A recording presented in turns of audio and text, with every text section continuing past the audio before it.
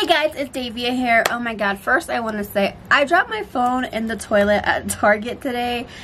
And they say it's supposed to be waterproof, but it's acting a little funky. So, I'm to have to call Apple and figure that out. Because if it's acting funky, after I dropped it in the toilet, then that means that it's not waterproof. And I took it literally right out after I dropped it in the toilet. So, we gonna see how that goes. But anywho, said we're gonna take a little deep dive into female hygiene. Being a female in general is super, super hard. We have like so much to worry about. We have so much to take care of and all that good stuff. So female hygiene is definitely something that all of us want to know like tips and tricks of what we can do, what we can't do and all that good stuff. So I am here to kind of help you guys learn some more knowledge about female hygiene and what we should do to kind of help us in the future. Now that I got that out of the way, I just want to say also before we even get fully into detailed, we all have a natural scent. It's just the way it is. Like, we can't make our lovely lady downstairs smell like peaches and cream all the time. It's just not going to happen, you know what I mean? Like, we're going to have that natural female scent and everybody's scent is different. And so I would say this though. If you feel that your scent is very overbearing or it's really fishy and it's seeking through your jeans or your pants or whatever then I would recommend that you get checked because it can be something more in detail. So yeah I would definitely recommend that. Rather than that let's go ahead and get started. All right, so my first tip is panties. So as females, we love Victoria's Secret. We love to go shopping for our panties. I know I love to go shopping for my panties and any kind of undergarment. Like if I see the little cute one with the heart in the back, I'm gonna get it. But I would say this, it's definitely, definitely, definitely recommended that you only wear them from time to time. Make sure that you always have your cotton panties. Your cotton panties are gonna be like your best friend. Like that's literally gonna be your best friend. We can wear our thongs from time to time, but we wanna make sure that our coochie is always breathing. We make sure that she's comfortable because if you suffocate her, it's just gonna be causing infections and if, especially if you're prone to infections, you're gonna want to make sure that she's breathing like all the time. So like I said no problem with wearing those panties those little cute panties if you got a little date night or whatever. No harm no foul but make sure you prioritize cotton panties over sexual panties okay? All right so tip number two is gonna be ingrown hairs. If you're like me and who loves to wear tight fitted jeans and still keep her kitty looking pretty then you know or you probably experienced ingrown hairs. I personally hated it so much. I don't have to deal with it anymore because I changed my habits. But before when I did, it was so annoying, like all the time. And so what I found out after doing research and all that good stuff is that I wasn't letting my vagina breathe and have that space to actually grow my natural hairs back. And so my jeans were literally super skin tuck tight like you found every single curve that was in my body kind of tight jeans and so after I kind of changed my jean habits getting a little size bigger and stuff like that my ingrown hair stopped like completely now I can shave comfortably and still look good and not have to have ingrown hairs because I changed my pants. Like I still wear tight jeans from time to time, but I don't wear them as often as I used to because I, I learned the importance of letting my vagina breathe and actually grow my hair back. so now I don't have to deal with it. So if you're dealing with that right now, I would definitely recommend you trying it and let me know if it worked for you because it worked for me. But like I said, everybody's body is different and so what works for me might not work for you. All right sorry. I was being nosy. My neighbor over on the phone. And i never i never see my neighbor like i'm super nosy right now but i never see my neighbor and i never knew he was black. Like he's black. I thought i was the only black person in this neighborhood but he's black. He's like a light-skinned black but he's black. And he on the phone with ghetto as all hell. Like he must come from like alabama or somewhere. But i'm nosy because he was on the phone. He was like hey boy. I'm like see black? But anywho i got off topic but tip number three is you are what you eat. Honestly, I feel like everybody should have a healthy diet in general. I'm not talking about being totally healthy and having not just eating freaking yogurt and grams and nuts and whatever the hell, whatever y'all want to call it. I'm not talking about that. I'm just talking about like making sure you keep your probiotics up, making sure you're eating your protein, making sure you're drinking your water. Probiotics and water is like your number one thing you want to try to always have and take on when it comes to your body because for one water is healthy in general. It helps your skin flourish. It just cleans your body out and from inside out. So that's just number one. Like you should always drink water at least a gallon a day. If you don't i get it i don't drink a gallon a day but that's what's recommended. So i'm just letting you guys know. But getting your probiotics is definitely important when it comes to your vagina because it gives you the good bacteria. There's good bacteria and there's bad bacteria and our body has bad bacteria especially when you start noticing discharge it means you've got a little bit of bad bacteria in there. You just kind of need to balance it out. So eating more probiotics will definitely help you out. You can also get like the little tablets as well. There's tablets that you guys can get. They're like 10 bucks at Walmart or whatever or anywhere. You can get them anywhere. They're like really small, really easy to swallow. And so if you don't like eating yogurt or any dairy, just get the tablets. That will definitely help your body kind of help stay in balance. So that's another key that helps. I learned that I suffered from having a lot of discharge and I realized because I never ate, I don't, I don't like any dairy besides milk and I only eat it in my cereal. So she's like, oh, you should have like yogurt, I'm like, I don't want to eat yogurt. But I started eating, I started taking the tablets and it helped my balance. I don't see as much discharge as I used to and so I'm definitely happy about that.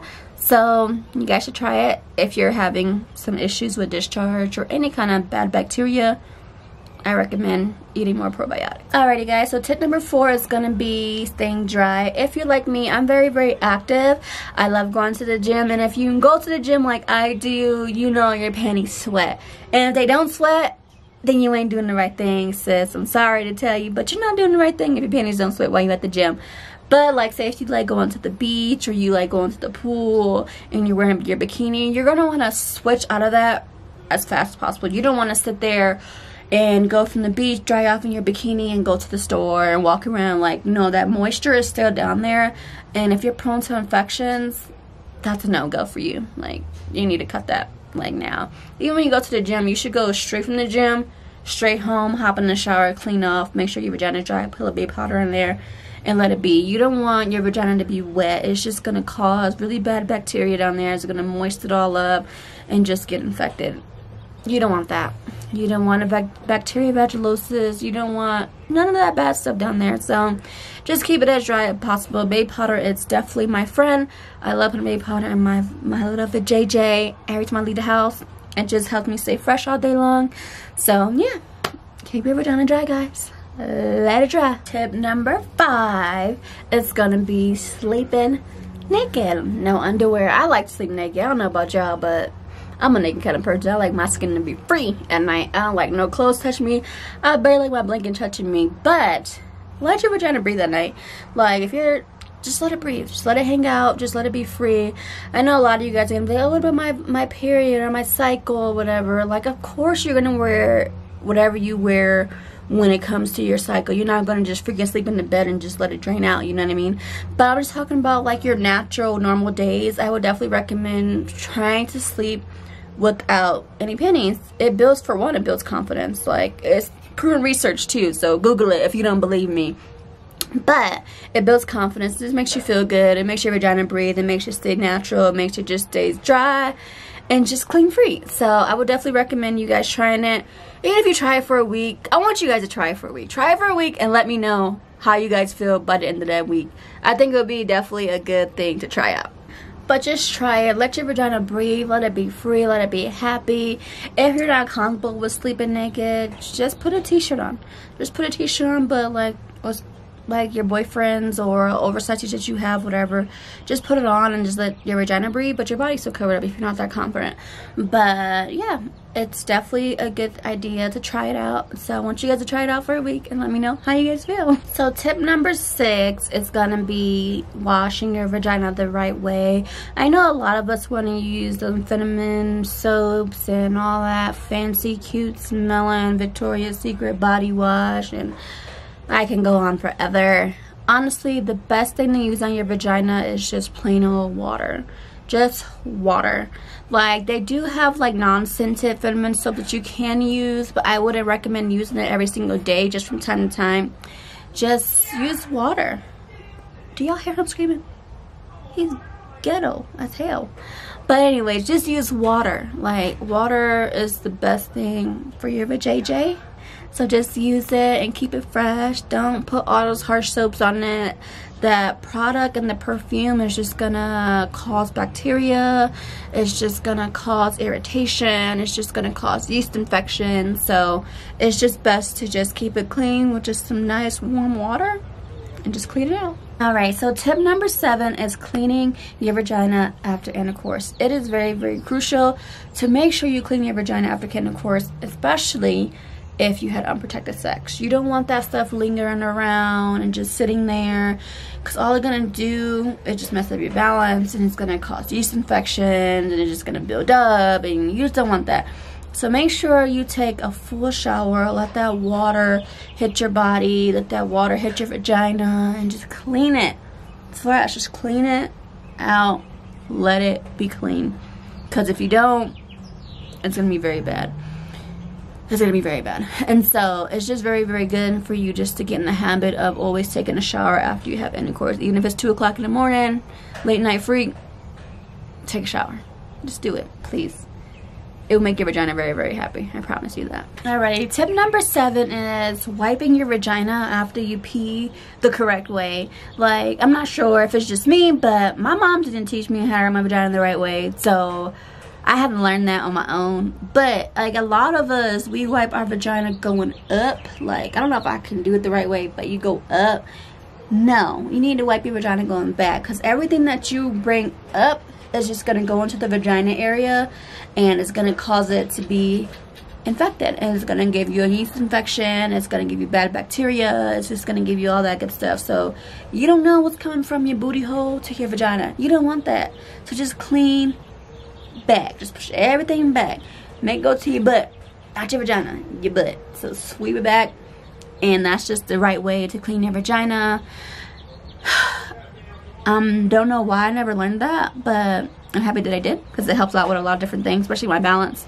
Helped out a lot. So if you didn't know how to clean your vagina the right way, there you go. You're welcome. Right, and so tip number nine is don't put anything in your vagina. Like, ugh. I know a lot of you girls like to douche and ugh, all that extra stuff. Whatever y'all the heck y'all be doing don't do it. Especially of all, I know douche, is like, oh, not scented or vinegar water or whatever. You should not be putting anything up your vagina unless it's sexual pleasure. And that means natural, a man's genitals or a dildo. That's it. Nothing else. Nothing else belongs in your vagina. Nothing. So just keep it clear free of everything. I don't even like mm, fingers in my vagina. Like, no. There's so many different, like, germs and bacteria that's in your nails or a man's nails to even for him to put his finger in me. Like, no. Don't put your finger in me. Don't do it. No. Ugh. Just keep whatever you can out your vagina unless it's natural and it's sexual. And that's it. That's it. Because you don't, anything that goes in your vagina is just going to mess up your balance. It's just going to irritate your vagina because it doesn't belong there. And so it's kicking it back out and it's just gonna be a mess for you. So just stop. Just don't put anything in your vagina, okay? That's it. Alrighty, we made it to tip number 10. And tip number 10 is don't ignore your vagina, guys. Like if you smell something funky down there, or if you're itching down there, or whatever it is down there that's not normal, just call your gynecologist. Just call them up Call them up, let them know what's going on. They're going to take care of you. That's just it. Don't ignore. A lot of us like try to be like, oh, well, maybe it's just this. Let me just drink some cranberry juice or let me just get me an yeast thing from the store or whatever. Like, no. Don't ignore your vagina. Make sure you always seek out medical help first. Medical professional help, should I say? Yeah. Seek out medical professional help first before you even self-diagnose yourself or think it's okay or think it's normal. No. If you're smelling fishy and funky and itchy and just, uh, get checked. There's no harm in getting checked. Make sure you wear condoms all the time when you're having sexual intercourse, unless you're with your partner for a while and you trust them and you guys get tested every now and then. I recommend getting tested three times a year. I usually do, that's just my thing, but you just never know. So yeah, but I would definitely recommend just always checking with your doctor at the end of the day. If you're feeling any kind of insecurity about your vagina, talk with your doctor. They're always going to be your best help. They're always going to give you what you need to know, what you need to hear, how to go about the situation. So, yeah. The sun is actually setting right now. So, that is it for this video. Hopefully, you guys enjoyed this video. If you're new to my channel, make sure you subscribe down below and hit the notification button. I would love to have you guys a part of my gang. I post videos every Tuesday and Thursday on this channel. So, yeah hopefully you guys stay safe during quarantines. I love you guys once again, and I will see you guys next Tuesday.